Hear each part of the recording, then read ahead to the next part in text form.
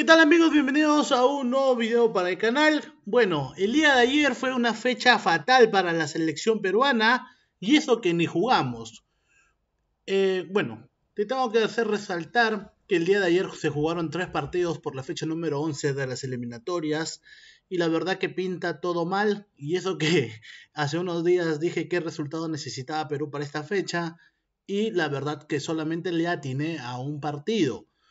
¿Y cuál es ese partido? Bueno, el Ecuador versus Bolivia. En el primer tiempo Bolivia se quedó con un jugador menos y Ecuador literalmente aprovechó eso y metió dos goles en el primer tiempo y dos goles en el segundo tiempo para golear a Bolivia. Que hay que resaltar otra vez que Bolivia todavía sigue con vida para chapar un puesto, aunque sea del repechaje o por un cupo directo. Todavía tiene esperanzas Bolivia de que pueda llegar a un mundial después de muchos años. Muy bien, ahora sí, eh, vamos a tocar el, partido sobre Venezuela contra Brasil. Una selección brasileña gris, la verdad, y eso que venía de golear en casa a Perú. Lamentablemente Perú eh, en el partido de visita contra Brasil sufrió dos penales, si mal no recuerdo, y todo se echó para, para abajo, ¿no? Venezuela también comenzó perdiendo contra Brasil por 1 a 0 en el primer tiempo con un golazo de, eh, si no me equivoco, Rafinha. Y bueno, en el segundo tiempo, comenzando nada más el segundo tiempo, Venezuela eh, empató.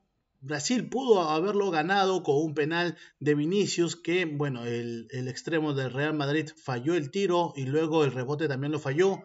Y con ello Brasil solamente eh, empató de visita contra Venezuela. Resultado que a la larga para Perú no le beneficia porque necesitaba que Brasil ganase y que Venezuela no sumase ningún punto. Pero eh, se dio de, esta manera, Venezuela logró un punto en, del local contra Brasil, creo que es un buen resultado para los venezolanos. Y eh, luego de ello, en el, en el, partido de más tarde, Paraguay también comenzó perdiendo contra Argentina por 1 a 0 con gol de Lautaro Martínez, pero se pudo recomponer y le dio vuelta en el segundo tiempo con bueno, en el primer tiempo le salió una chalaca a un jugador paraguayo que la verdad fue un golazo. Y en el segundo tiempo de cabeza eh, le dio vuelta el resultado. Resultado que otra vez tengo que resaltar, no le favorece en nada a la selección peruana porque todos esperábamos, aunque sea que Argentina empatase este partido. Sobre todo este partido porque Paraguay ya suma 16 puntos, ahorita en la tabla lo, lo vas a ver en pantalla, y ya Perú le le, le, saca muchos puntos para intentar chapar aunque sea el sexto lugar y ya todo indica que Perú deberá esta noche ganarle a Chile e intentar buscar el repechaje. No hay otra, no hay otra forma, no hay otro resultado. Perú necesita ganar sí o sí hoy día a Chile para intentar llegar aunque sea al repechaje. El otro resultado entre Uruguay y Colombia no interesa mucho porque ambas selecciones creo yo ya están clasificadas al Mundial. Sería una catástrofe de que salvo Uruguay o Colombia, no llegasen a, este mundial que viene eh, en dos años. Y bueno, eh, por aquí te dejaré la tabla con los resultados que pasaron el día de ayer.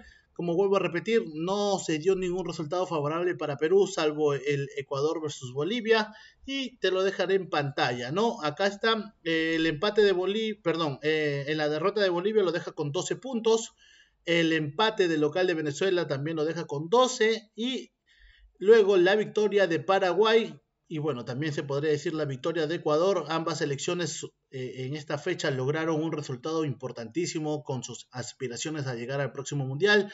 Sumaron 16 puntos cada una. Ambas, hay tres selecciones con 16 puntos, como Uruguay juega hoy día contra Colombia y yo creo, yo creo que ambas selecciones eh, ya están dentro del Mundial. Tanto Colombia y Uruguay no tienen problema para clasificar. Eh, en todo caso, eh, es que se ve muy lejos, muy lejanos. Perú tiene 6 puntos. Para intentar chapar el sexto lugar necesita 10 puntos. O sea, es algo, creo yo, imposible. Con los jugadores que tenemos, la verdad que eh, muy, muy complicado.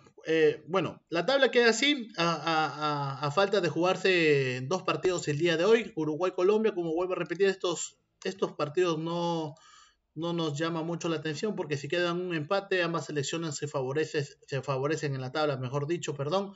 Y luego Perú versus Chile. Como vuelvo a resaltar, eh, Perú necesita ganar sí o sí este partido para intentar, aunque sea el otro año, pelear el repechaje.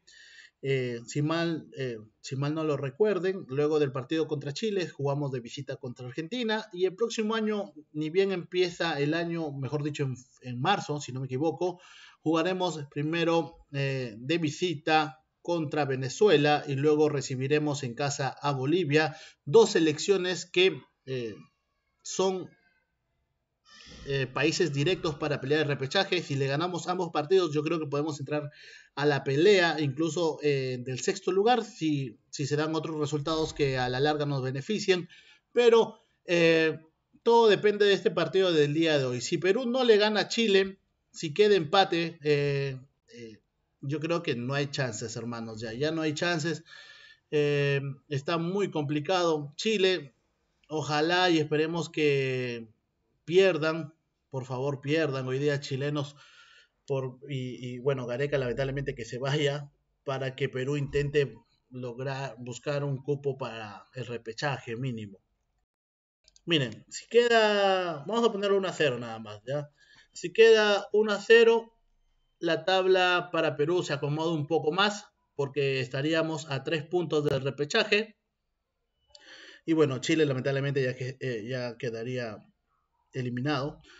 Y si queda uno a uno, yo creo que no vamos al mundial, ya, ese es algo dado por escrito. Yo creo que si no sacamos un resultado que no es la victoria el día de hoy, Perú no va a clasificar al mundial. Y peor aún, si Perú pierde contra Chile, yo creo que ya mejor vamos eh, poniendo, mejor dicho, convocando, mejor Fossati vaya convocando a jugadores de, jóvenes, ¿ok? Para los próximos partidos que restan de las eliminatorias para intentar ya en, después del Mundial eh, tener nueva camada de jugadores, porque lamentablemente estamos a las justas, hay jugadores de 40, 41 años, si no me equivoco Guerrero tiene 40, que eh, ya no pueden estar una eliminatoria más en eh, la selección peruana. Pero todo esto no es la culpa de Guerrero, no, son eh, la culpa es de los equipos de fútbol de la Federación Peruana de Fútbol que no eh, implementan las estructuras de divisiones menores, no le dan este mayor valor a los, a los jóvenes jugadores que intentan sobresalir. Miren Ecuador, Ecuador tiene hartos jugadores en las ligas de Europa ya siendo jóvenes, incluso Colombia, eh, Bolivia tiene algunos que otros jugadores jóvenes también en ligas brasileñas. Y bueno, Perú se ha quedado muy atrás en ese aspecto y a la larga eso se siente, ¿no? Miren ahora el plantel es corto, eh, jugadores que eh, algunos están lesionados y, y, se hacen extrañar porque están lesionados y no hay recambio, pero en fin, yo quisiera saber tu opinión en la caja de comentarios si tienes fe que Perú va a ganar el día de hoy. Quisiera saber tu opinión en los comentarios. Yo me despido, muchas gracias por ver este video. Nos vemos más tarde con el posible, bueno, posible no, el 11 titular que utilizará Perú y ojalá y esperemos que Perú gane este partido que va a estar muy, muy complicado. Yo me despido, un abrazo.